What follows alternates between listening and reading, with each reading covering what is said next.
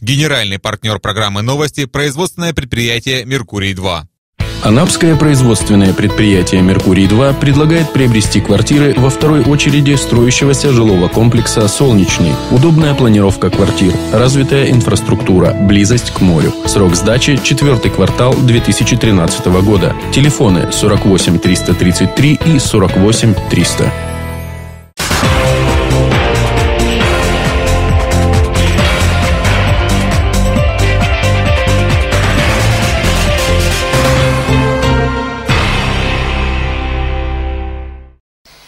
Эфир канала РЕН-ТВ продолжает новости Анапа регион. В студии Ирина Меркурьева. Здравствуйте. Итак, смотрите в ближайшие 15 минут.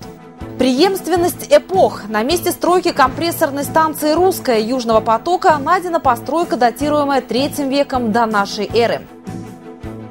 Мобильный доктор ведет прием. В село Гайкадзур приехали врачи губернаторской программы «Будьте здоровы». Радостная весть о спасении и светлой жизни. 7 апреля православные христиане отметили Благовещение Пресвятой Богородицы. 300 залпов в городе воинской славы прогремят в День Победы в Анапе. О подготовке к майским праздникам, Дне Победы, о проведении городского и всекубанского субботника говорили сегодня на планерном совещании в администрации курорта, где вновь произошли кадровые перестановки, а некоторым сделаны последние предупреждения. Обо всем по порядку в репортаже Вадима Родина. Начальник отдела полиции Андрей Терехин доложил, что на прошедшей неделе на курорте прошли рейды совместно с ОМОНом по ночным клубам. В одном из ночных клубов задержан гражданин, находящийся в федеральном розыске. Всего задержано три человека, находящихся в федеральном розыске, два числящихся как без вести пропавших. Сегодня активизируем работу телефона доверия, меняется информация, что на вокзалов, Этим займется в том числе и новый заместитель главы по экономическим вопросам Яна Дуплякина, которую представил на совещании Сергей Сергеев. Первый заместитель мэра Светлана Яровая указала подчиненным на то, что стиль работы, существующий сегодня, вовсе не соответствует статусу администрации курорта и привела примеры. Вместо того, чтобы внимательно вникать и относиться к населению по их обращениям, отписки, например, человек обращается и просит поменять целевое назначение земельного участка с ИЖС на ИЖС коммерции. Мы тупо даем ответ, это невозможно, потому что там нет объекта коммерции. То есть человек добросовестно, предполагая развивать свой бизнес, обращается в соответствии с действующим законодательством. Мы же его отправляем, чтобы он занимался самостроем, а потом будем подавать иски на снос. Бытует мнение, что ну ничего, мы сидели при Пахомове, мы тут еще другая команда была, так сказать. Ну, пришли новая команда, сейчас поиграются, а мы как сидели, так еще и посидим. Вполне возможно, но не в этом здании. Я уже двоих в зале не вижу, да? Значит, я предупреждаю, на обоих есть материалы, предложите людям, и поможем работу. Я говорю Аксеновой и господине Рамосе. Все, шутки закончились. О ходе подготовки ко всероссийской диспансеризации доложила замглавы Людмила Гузенко. Диспансеризации подлежат 25 тысяч анапчан. Составить график, закрепить э, сельские торговые, не имеющие соответствующего оборудования за городской больницей, и чтобы этот график, безусловно, выполнялся. Замглавы Алексей Харитонов заострил внимание на подготовке к пожароопасному периоду, а также дал поручение проконтролировать завершение работ по строительству стелы города воинской славы до майских праздников. Также к 1 мая провести ревизию и запуск всех городских фонтанов. Водоканалам я дал поручение провести инвентаризацию всех автомоек на предмет выдачи технических условий и нормативов употребления. Кроме этого, нужно решить, проверить, куда идет сброс всех вод. Соответственно, тоже будем этот цикл. Как рассказала замглавы Людмила Гузенко, в 70-ю годовщину освобождения города воинской славы планируется множество массовых мероприятий. Концерт, парад войск Анапского гарнизона на Театральной площади, открытие стелы города воинской славы, и в этот день будут даны 300 салютных залпов в память о Великой Победе, ее героях и участниках. Вадим Родин, Алексей Мухортов, Анапа регион.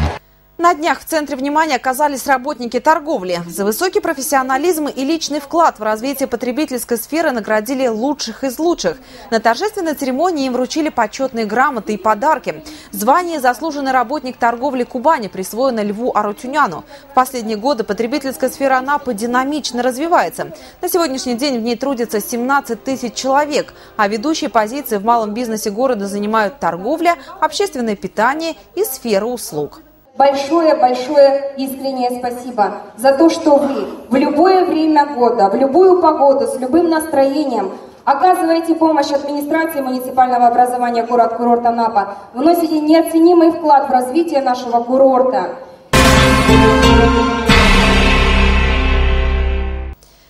Уже более 10 дней в районе реализации международного газового проекта «Южный поток» работает экспедиция археологов из Ростова-на-Дону. Специалисты нашли монеты и части домашней утвари, имеющие историческую ценность. Возможно, это часть большого древнего городища. Археологи бы и рады провести доскональное исследование. Да вот «Газпром» не планирует приостанавливать работу. Одним из первых увидел старинные монеты Вадим Родин. По историческим данным, во времена расцвета греческого царства эти места были густо населены. И неудивительно, что строители, разравнивая гигантский участок, наткнулись на древнее городище. Вручную, бережно, по миллиметру специалисты скрывают культурно-исторический слой, для того, чтобы узнать как можно больше о быте народов, населявших эти земли. Археологи просеивают каждый пласт земли, чтобы не пропустить ни одну деталь. Здесь мы обнаружили древнегреческую усадьбу, которая существовала в третьем веке до нашей эры судя по монетам, которые мы здесь нашли. А, эта усадьба относится к Хоре, то есть сельской округе Гаргипии, древнегреческого города, который существовал на месте современной Анапы. Археологи обнаружили здесь жилую постройку с каменным фундаментом, а стены, по словам специалистов, были из глины, от которых, конечно же, ничего не осталось. Помещение погибло в результате пожара. Внутри дома найдены инвентарь, посуда, рабочие инструменты людей, которые здесь жили. Это посуда различная керамическая, каменные грузила для ткацких станков, ну и другие предметы, жернова каменные для обработки зерна. Вот. И также э, несколько пифосов, это больших керамических сосудов, которые были врыты в землю. Они предназначались для хранения зерна, ну или каких-то других э, сыпучих продуктов питания.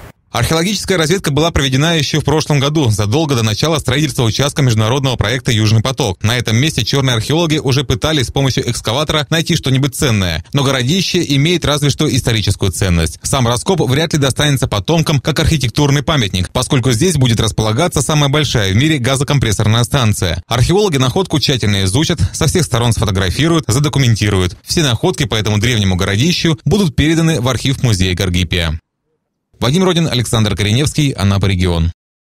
Медики Анапы в течение нескольких месяцев обследовали население Анапского района в рамках губернаторской стратегии «Будьте здоровы». О заключительном этапе акции смотрите в сюжете.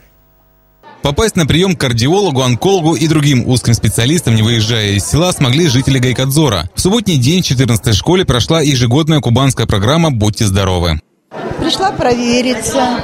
Мне нужен невропатолог очень, окулист. Я пришла сюда. Здесь хорошо, хороший прием, очень вежливые люди, девочки хорошие, медсестры, уважительные. Я очень довольна. С помощью специальной техники все желающие смогли проверить свое здоровье и получить консультацию врачей, пройти обследование на сахарный диабет, флюорографию, сделать УЗИ органов брюшной полости и даже узнать свой точный вес и рост. Многие сельчане посетили социального педагога и психолога. Все обследования и приемы врачей, согласно губернаторской стратегии, были совершенно бесплатными. Была у э, психолога, мы разговаривали о своих родственниках, подругах, в школе, как учимся. Конечно, для народа это огромная, как вам сказать, ну как поддержка, что мы вот пришли сюда и, можно сказать, почти всех специалистов прошли. Огромное спасибо за то, что к людям так все-таки с вниманием отнеслись. Реализация всего комплекса профилактических мероприятий губернаторской стратегии «Будьте здоровы» уже позволила добиться определенных положительных результатов в динамике показателей здоровья населения Анапы и Краснодарского края в целом. Вадим Родин, Алина Гумерова, Александр Кореневский, Анапа регион. В воскресенье верующие отметили один из 12 больших церковных праздников – Благовещение. Согласно Евангелию, в этот день Богородице явился Архангел Гавриил с вестью о грядущем рождении Спасителя мира. Светлана Авилова побывала на божественной литургии в храме святого Ануфрия Великого. Подробнее в сюжете.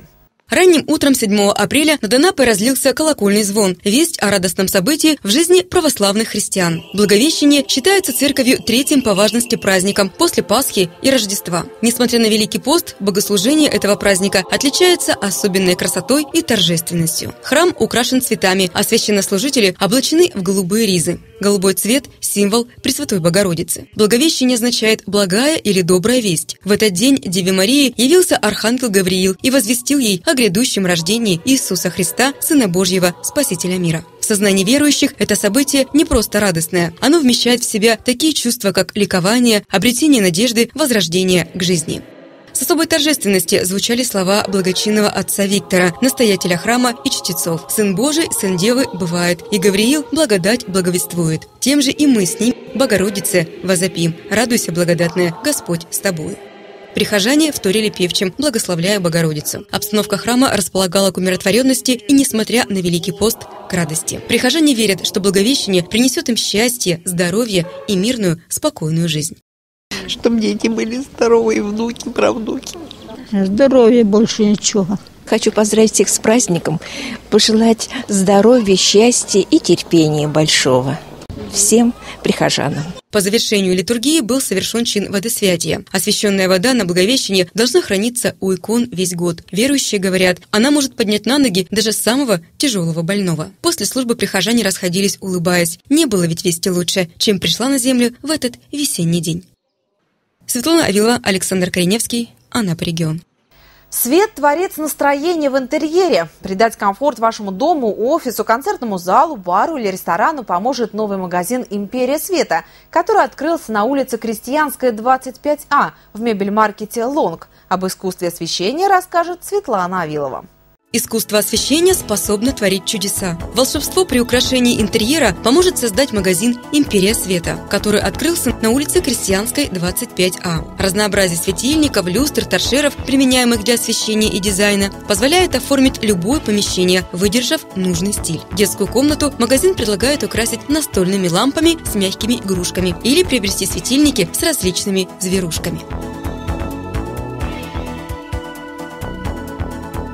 Особой оригинальностью отличаются воплощенные в жизнь идеи современных дизайнеров – светильники в форме птичьих гнезд или сформированные из ротанга геометрические фигуры, служащие плафонами. Кованые люстры украшают исторические и современные интерьеры. Фантазийные узоры художественной ковки легкие и ажурные, словно элементы кружевного полотна или наоборот массивные и тяжелые, подчеркивающие солидность и основательность конструкции.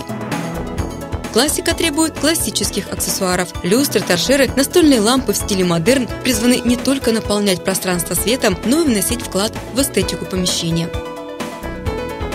Люстры в флористическом стиле – это прекрасный элемент декора помещения и функциональный осветительный прибор, изящный и привлекательный.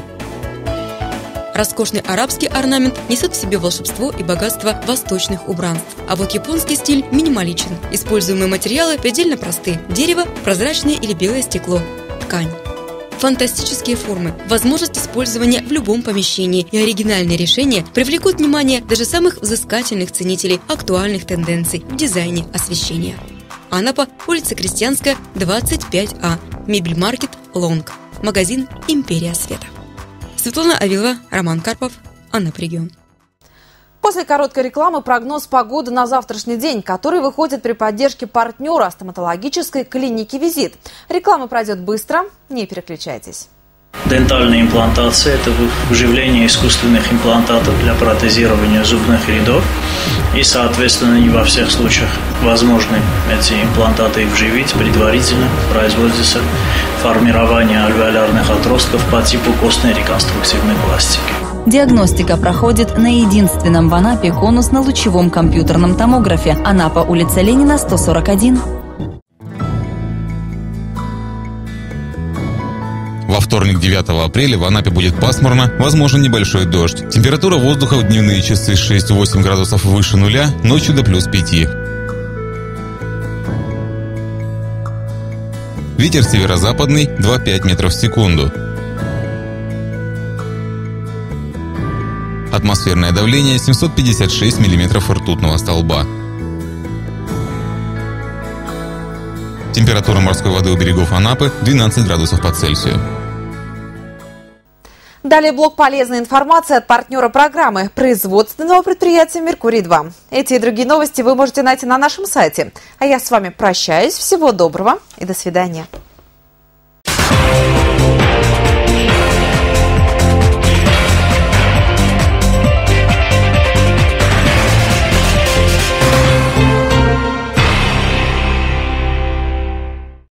Анапское производственное предприятие «Меркурий-2» предлагает приобрести квартиры во второй очереди строящегося жилого комплекса «Солнечный». Удобная планировка квартир, развитая инфраструктура, близость к морю. Срок сдачи – четвертый квартал 2013 года. Телефоны 48 333 и 48 300.